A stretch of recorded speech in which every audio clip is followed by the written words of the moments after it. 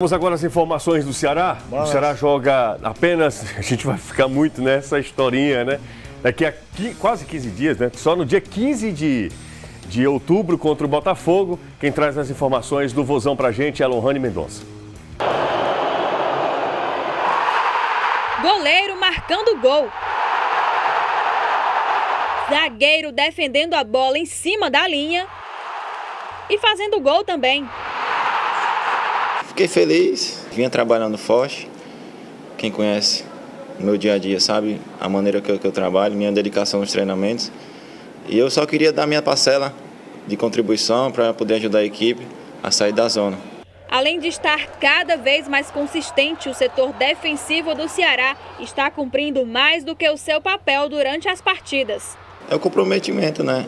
É, em saber, em querer livrar o Ceará do rebaixamento por isso que um ajuda o outro, por isso que um cobra do outro, porque o que vale é no final da competição, nossa equipe continuar na Série A.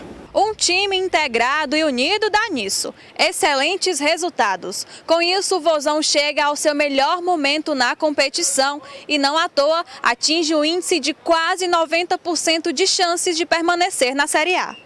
Os dados são do site Chance de Gol que aponta também outras probabilidades do time, como as chances de disputar a Sul-Americana, por exemplo. A gente não pode ficar pensando em, em, dois objetivos nesse momento. Nosso objetivo, nosso, nosso foco agora é sairmos dessa situação. Como nós falamos lá depois do jogo, foi difícil sair.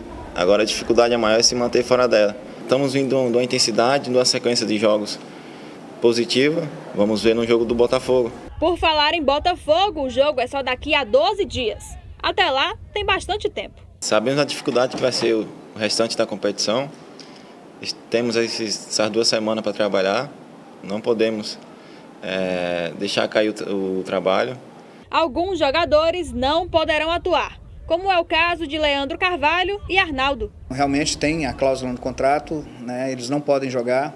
Então, assim como foi no primeiro, no primeiro no primeiro jogo né, do, do turno, no primeiro turno, o, o, o Arnaldo não pôde jogar. O Leandro veio depois.